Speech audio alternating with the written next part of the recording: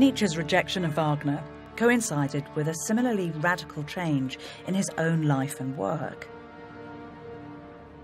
Whilst he continued to teach in Basel, he began to have severe doubts as to whether it was here that his future lay. He still believed that it was through liberating the creative Dionysian spirit that greatness could be achieved. He began to doubt that the answer lay with the transformation of the masses.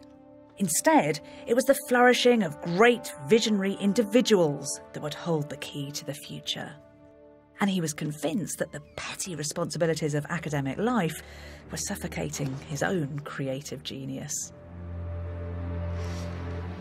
He conceived a deep dread of coming back here to lecture to what he called the greatest curse of his life. Depressed and anxious, he developed what he called Baselophobia. Nietzsche longed to break free. The key to life, he wrote, was to live dangerously. On the 2nd of May 1879, he resigned his professorship. As Nietzsche left Basel, he was gripped by debilitating ill health. Since childhood, he'd been plagued by violent stomach pains and blinding headaches and haunted by the fear that he too would be struck down by the disease that killed his father, Nietzsche's physical challenges had been the final trigger for his resignation.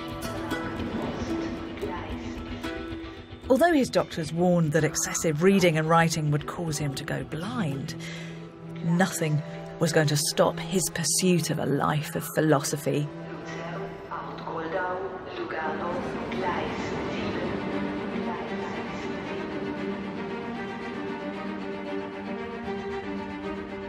Nietzsche began to crisscross Europe, staying in hotels and guest houses in climates that alleviated his medical symptoms.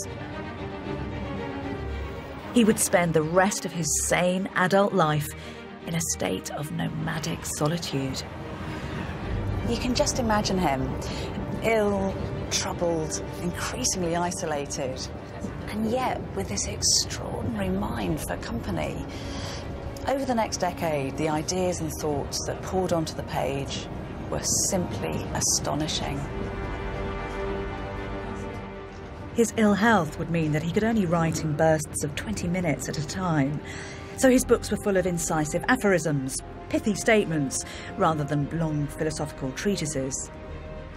And it was on a train in 1881 that he was told about somewhere that would provide the inspiration for many of these great works. A fellow traveller recommended that he visit a place called Sils Maria, just a tiny little farming village in the Swiss mountains. He followed their advice and discovered the place that would become his spiritual homeland.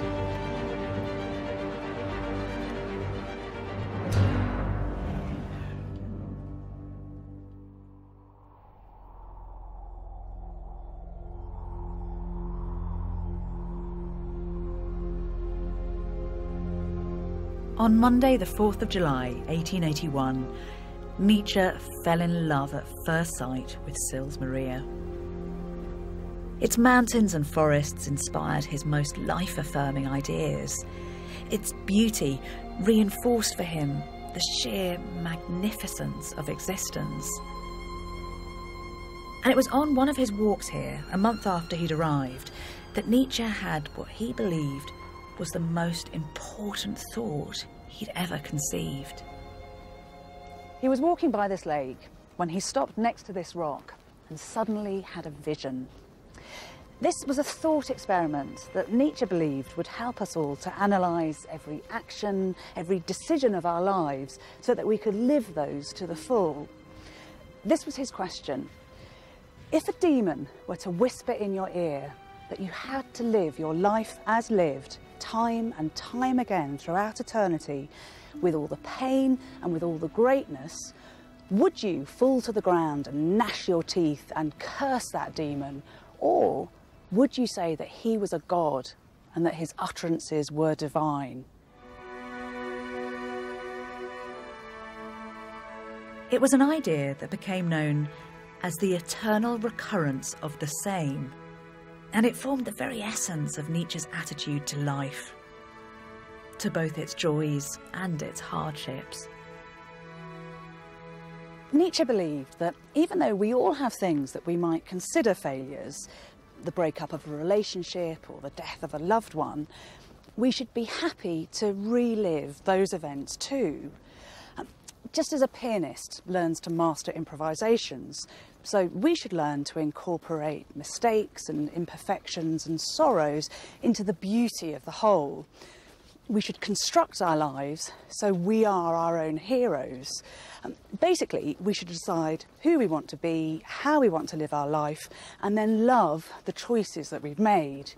So that the thought of reliving our existence, for good and for bad, can be greeted with a life affirming yes. The Eternal Return was an exuberant and optimistic embrace of life.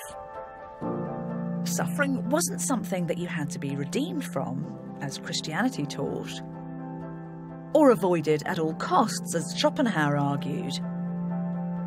Instead, it was to be embraced, mastered. To live life most fully, one had to risk suffering and overcome it.